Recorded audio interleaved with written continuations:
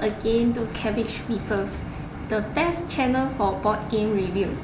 Uh, I'm Jean and today I'll be sharing with you on how to play Codenames the Czech Edition. This game won the Board Game of the Year in 2016, so it's definitely a great game which everyone can enjoy. Let's start by learning how to set up the game. Uh, okay. Um, uh, firstly, we have to divide the teams, uh, the players into two equal teams.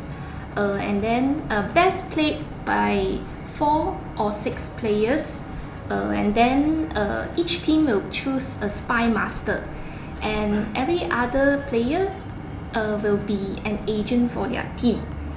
And this card, it represents the red agent for the red team. And the blue agent is the blue team uh, sorry this is the first card.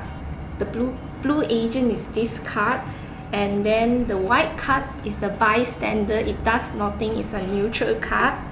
And the assassin card which should be avoided at all costs. Uh, if a player accidentally pick the assassin that's it game over.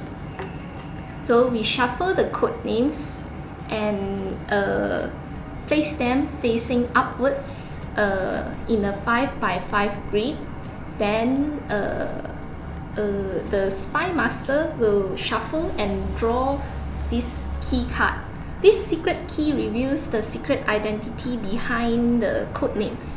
So it should never be viewed by the agents. Uh, okay.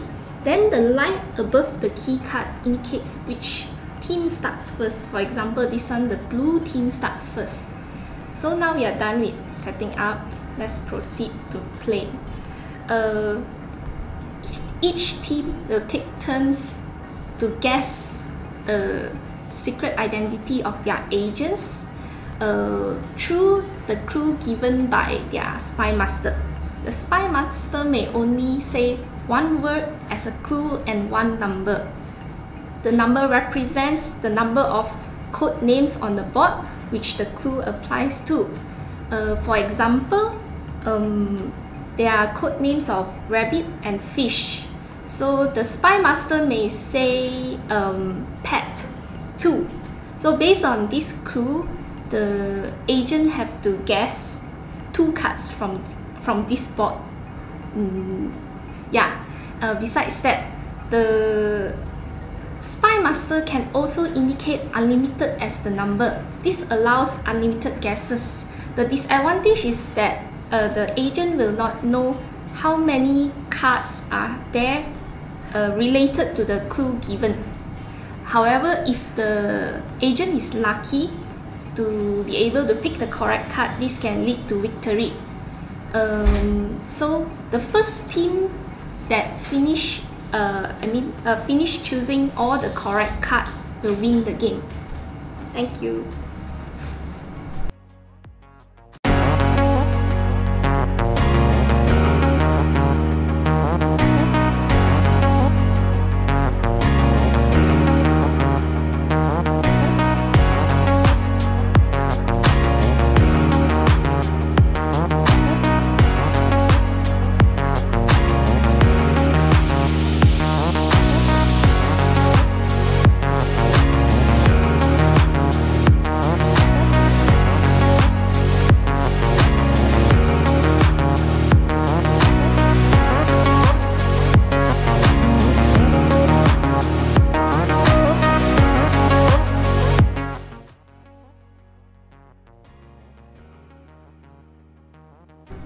Hello and welcome to Cabbage Meeples.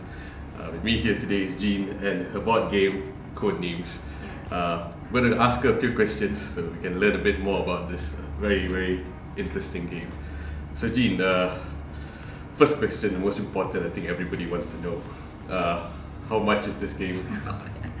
uh, Codenames the Czech edition is available online. Uh, you can buy it from Lazada for around 160 ringgit. 160 ringgit. Hmm. it depends, I guess, on the person. And, uh, well, second question, uh, quite important as well. Uh, would you recommend this game since you played it Oh, to, yes. to our viewers out there? Yes, of course. Uh, this game is super fun and it's available in many different versions such as uh, Harry Potter version, Marvel, Disney and many more.